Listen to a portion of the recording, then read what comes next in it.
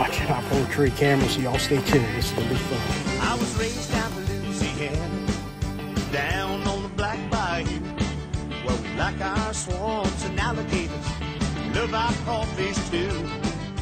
Got that filet gumbo running through our veins. It's our feet dancing when we hear that fiddle play. We love to hear that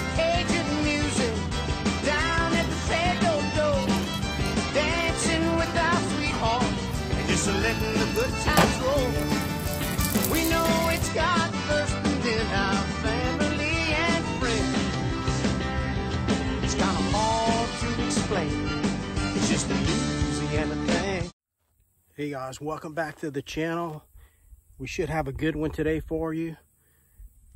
We have a big trap here.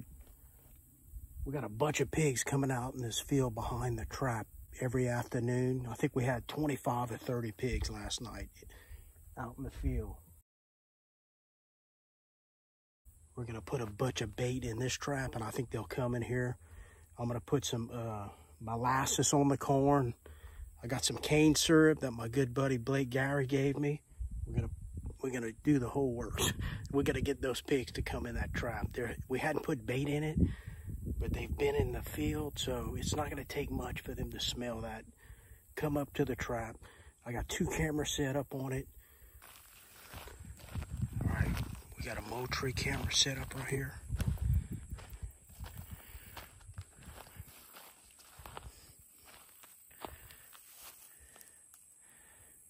This is gonna let us know tonight when to drop the door. It's gonna get a good look at them on this side, and I have another camera on the other side over here. Okay, we have a hog boss system right here, so I can call this with the phone. We're gonna drop the door when it's full of pigs. And like I said, here's another camera, another Moultrie. These are live cameras. So we'll get a different view. We can tell when the pigs are in there. And we'll drop the door tonight, hopefully. Let's go ahead and make some bait.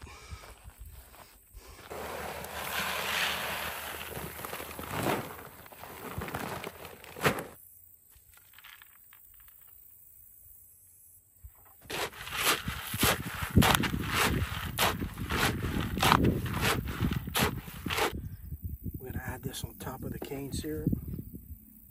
There's not much of this left.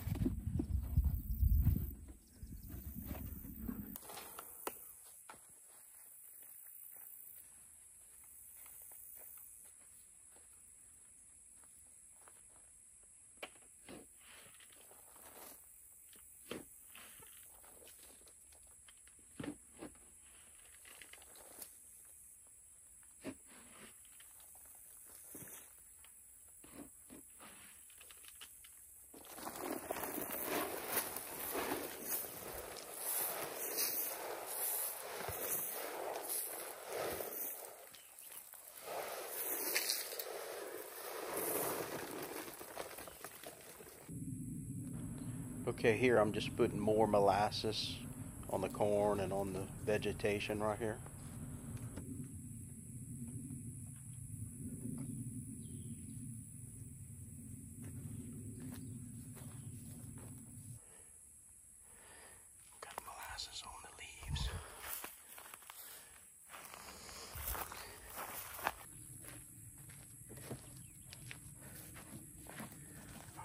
So all the pigs are right there last night, 20 or 30.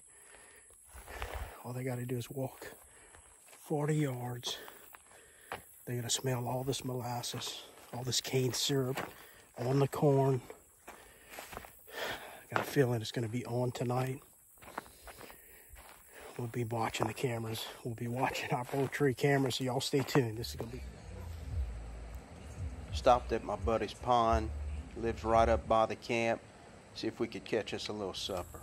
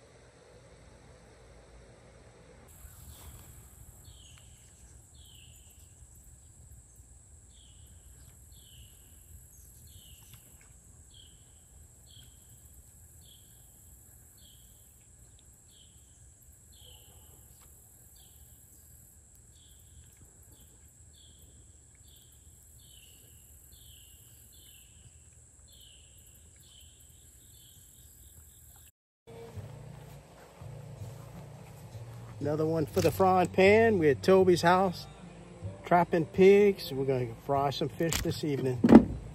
Oh shit. Knock my beer over. Frying some brim tonight.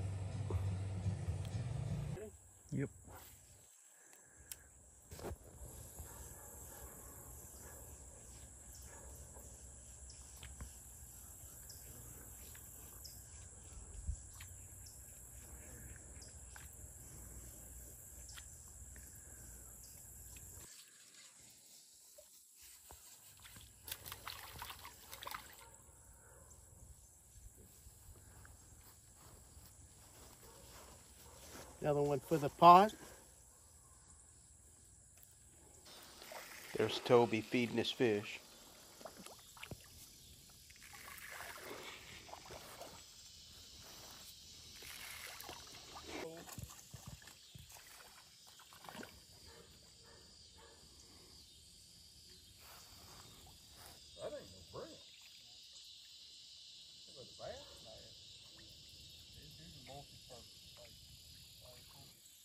They fish the railroad truckle up there on Whitetail.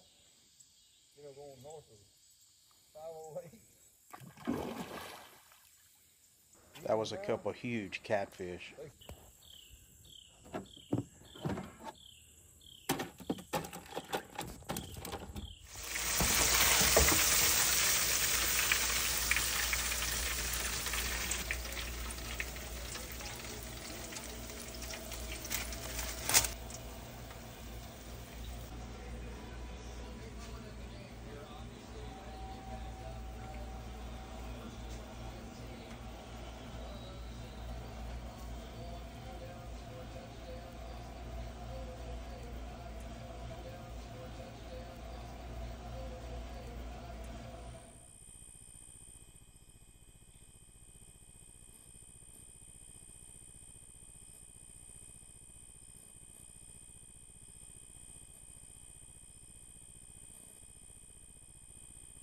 All right, we're gonna go ahead and drop the door. There's at least two pigs in there.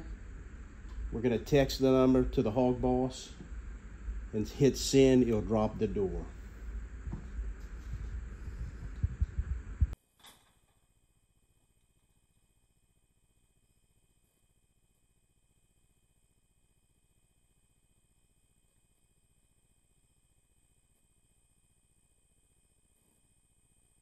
Think there's at least two in there, so.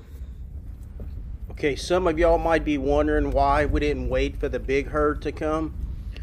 Well, if you noticed, it was about two in the morning. Uh, had to go home the next day, so we, we went ahead and took these two pigs. I'm definitely coming back for the big group of pigs, so y'all stay tuned.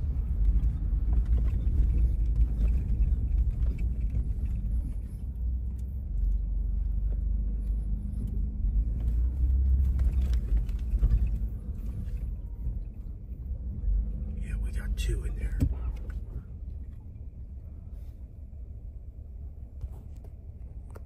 There's one on the outside.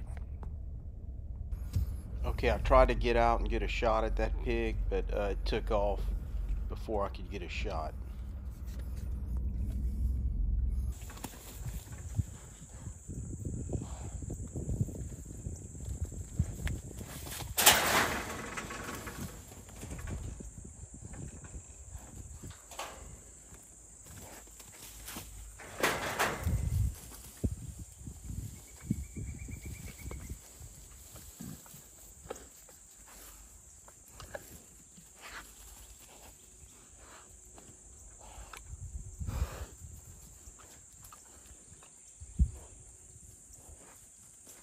Right, we got two of them. Let's go ahead and reset this trap.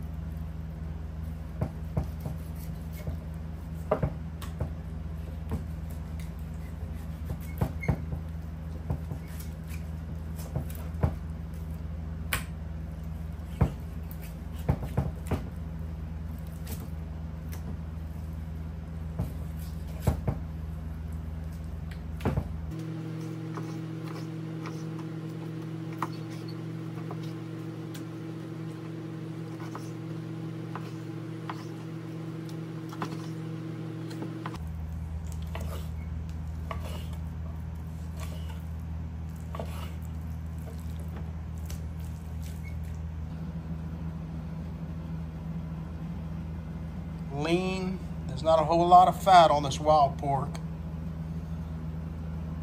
Look at these nice chunks of meat. Okay, we're gonna pass it through the grinder. Uh, first, we're gonna season it real well. I wanna season it with K-Fred before I put it through the grinder. Just gonna help mix it up.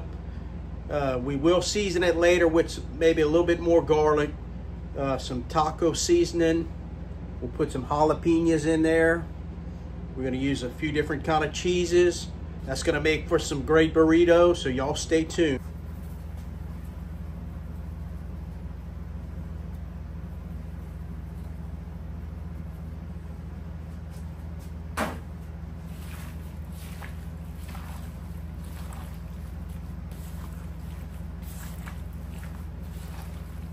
Add a little bit more K-Fred. Remember, that's a lot of meat.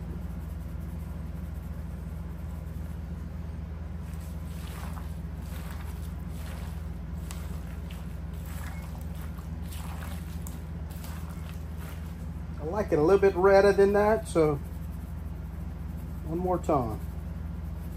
Probably about half a can. Okay, that was roughly half a can and 15 pounds of meat.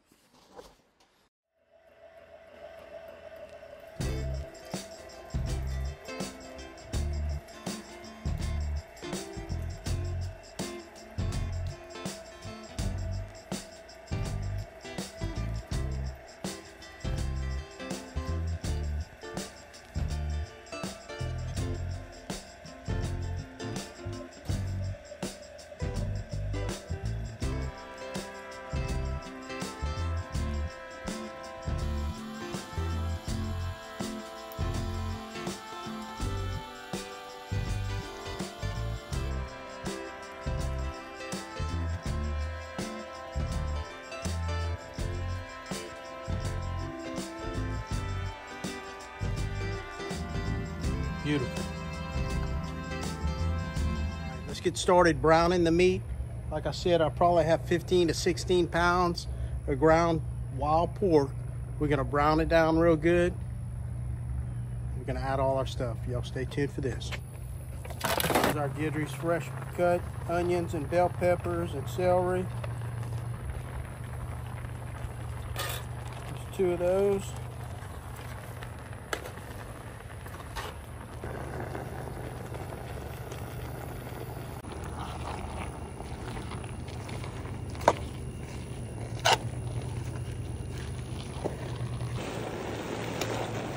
Thirty minutes in, cooking on a hot fire. Trying to get it brown. Cook this down till you can't even see the onions anymore. That's gonna tell us when it's ready to add the cheese and we can add little garlic. We're gonna add our uh, taco seasoning.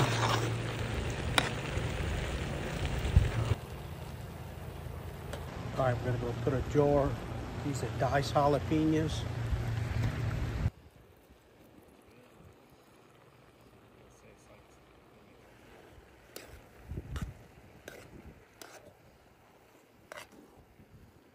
Put a tablespoon, two big tablespoons. Minced garlic.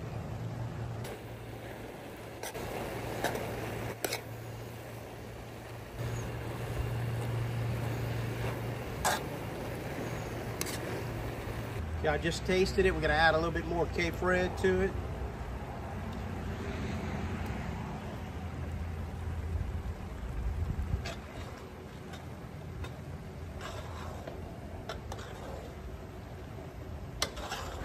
Okay, I'm gonna add a few of these taco bags, taco seasoning.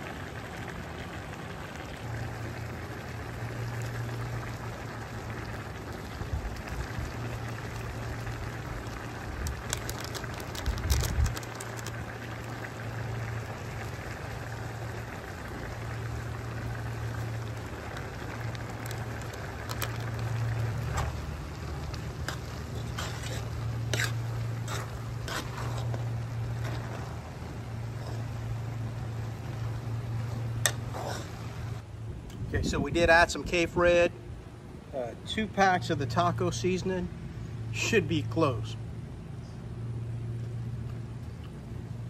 Mmm. It's perfect. Okay, it's a four cheese Mexican blend. This is a Rouse's. I'm gonna go ahead and put four of these.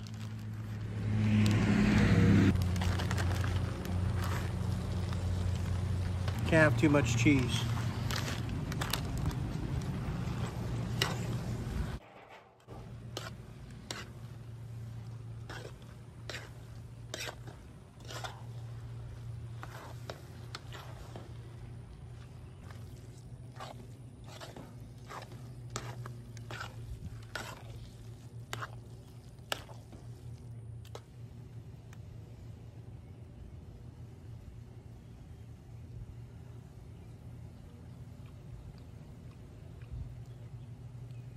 That's good stuff.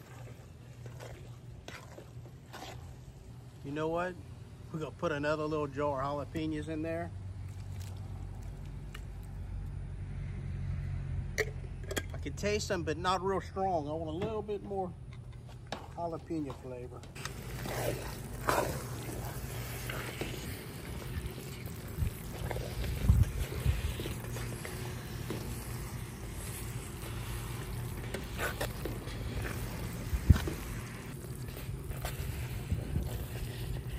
We're gonna do our first burrito. Make one for my brother-in-law, Jeff.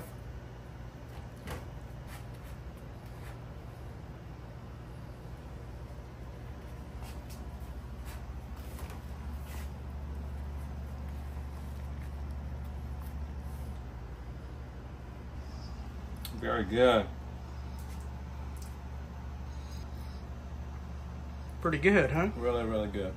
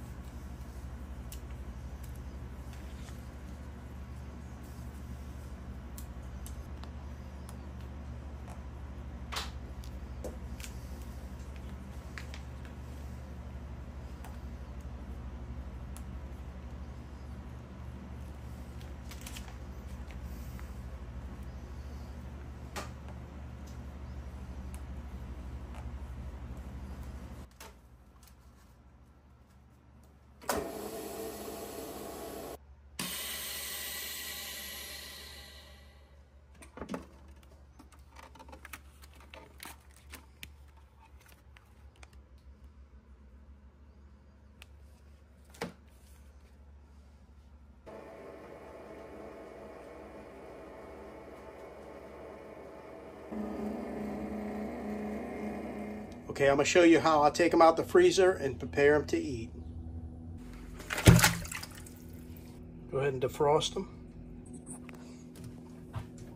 All right, this is only gonna take a few minutes. Look how thin these are. But they're packed with meat. Give them a couple minutes.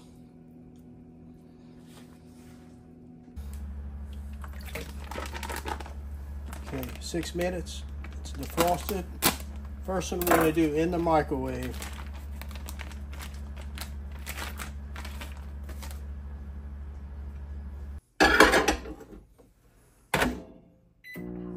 Okay, I put it in for 90 seconds.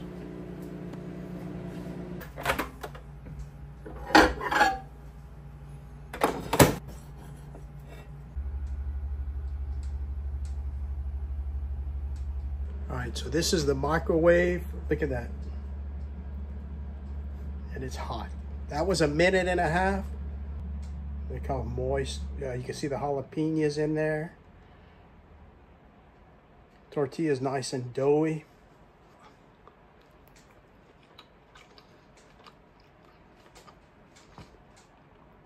this is so good. We're going to eat all these up at the camp.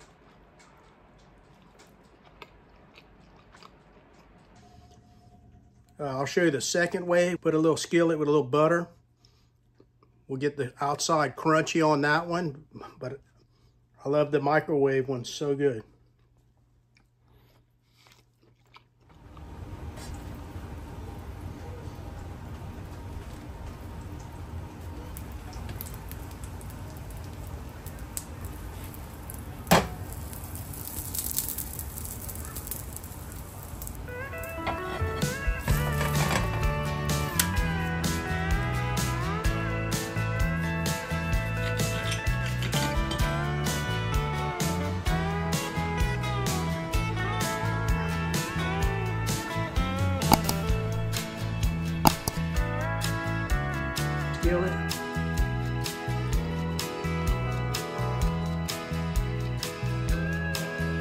Two different ways, they both delicious. Again, you can do that with beef, pork, this wild pork, delicious.